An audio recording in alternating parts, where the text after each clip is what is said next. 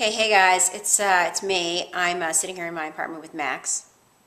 Say hey, Max. Max. Anyway, um, check out my latest uh, blog post. I did my first um, track workout this past Tuesday. It was a most uh, interesting experience. I have to say, this is a new thing for me, and uh, I was a little bit out of my element. Felt a little awkward, um, but it was a lot of fun and I'm actually pretty excited about it. So check out the post. And by the way, the reason why I'm wearing this hat is because I have a ginormous zit on my forehead. This thing is like pulsating. I've already had to take two Advil today.